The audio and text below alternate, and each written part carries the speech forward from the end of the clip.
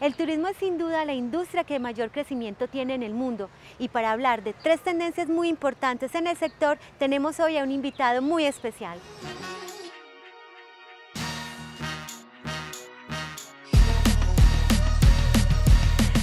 Me encuentro con César Flores, él es administrador de empresas turísticas y también consultor para las empresas privadas y también para el sector público. César, bienvenido a Negocios en tu Mundo. Buenos días, eh, muchas gracias Vianey por la invitación.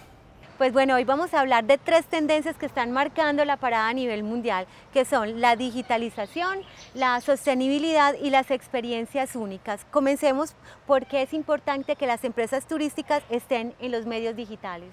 Una de estas tendencias, eh, la digitalización, es muy importante en la industria turística. Es el momento de conectarnos a través de la era de la digitalización con los territorios y con los productos o servicios que se ofrecen en el mercado.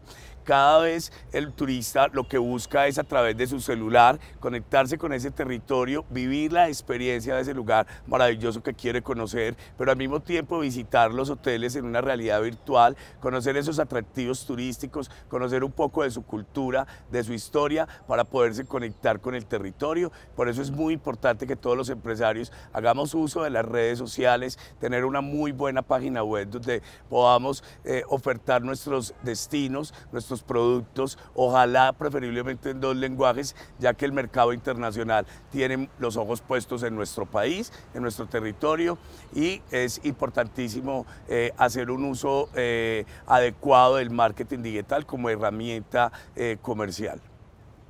César, entonces, además de la página web, ¿qué otros canales puede utilizar el empresario para que sea mucho más efectiva su publicidad o su promoción en las redes sociales? Eh, bueno, ahí, es muy importante que los empresarios tengan en cuenta eh, Google Mi Negocio es importantísimo. Quien no aparezca, eh, obviamente, a través de este portal, pues no va a tener la, capacidad de estar más visible frente al mercado.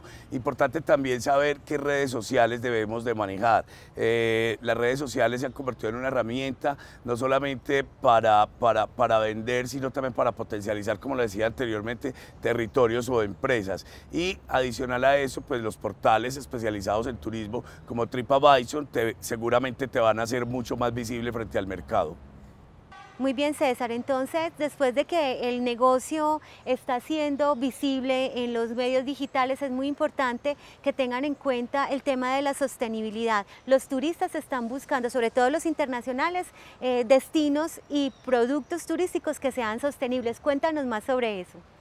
Esta segunda tendencia, eh, Vianey, es la sostenibilidad turística es la responsabilidad que tenemos los destinos turísticos con relación a nuestros territorios pero es muy importante no solamente hablar de sostenibilidad dentro de un destino X o Y, tenemos que hablar también de la responsabilidad que lleva a los empresarios a ser sostenibles. La sostenibilidad está enmarcada en tres pilares. El primero es el ambiental, el segundo es el económico y el tercero es el sociocultural. Los extranjeros quieren conectarse con esos destinos sostenibles, amigables con el medio ambiente, responsables con sus comunidades y que puedan generar un impacto económico mucho más importante dentro de los territorios.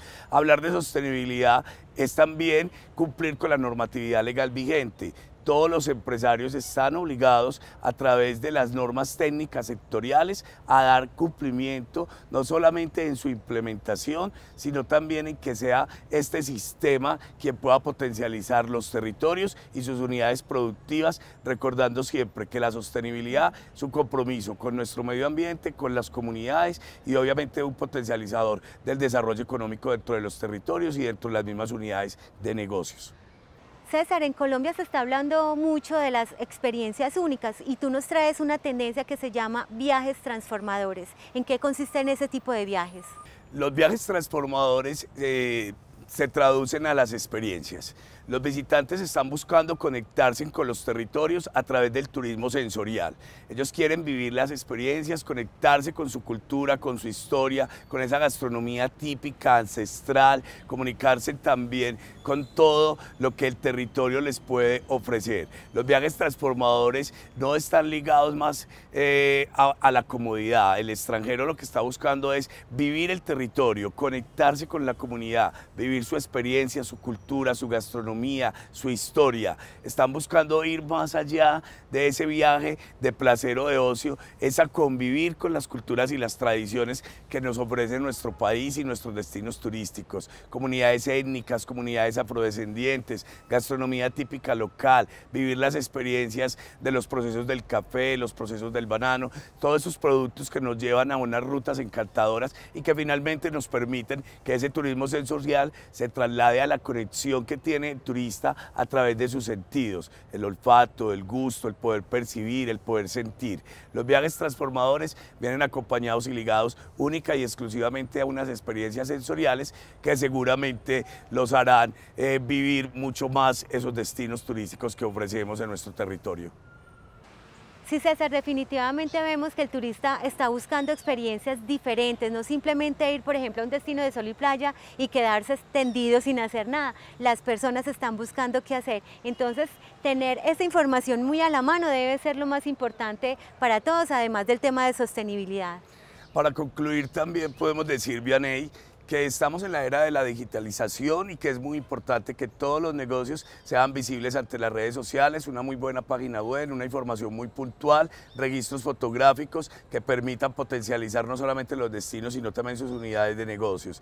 Lo segundo es apuntarle al turismo responsable y sostenible. Tenemos que ser muy responsables con nuestros, territorios en los tres pilares que anteriormente había citado, lo ambiental, lo económico y lo sociocultural y lo más importante, que esas experiencias se conviertan en, una, en un turismo 100% sensorial, que el turista no solamente logre conectarse con el territorio, sino también con la cultura, la historia, la tradición que viene desde la memoria oral, desde su gastronomía, desde las artesanías, desde ese contacto con los mismos residentes para que su viaje sea realmente transformador y definitivamente todos nuestros países tienen cosas únicas que contar. Esto es Negocios en tu Mundo, inspiración para la acción.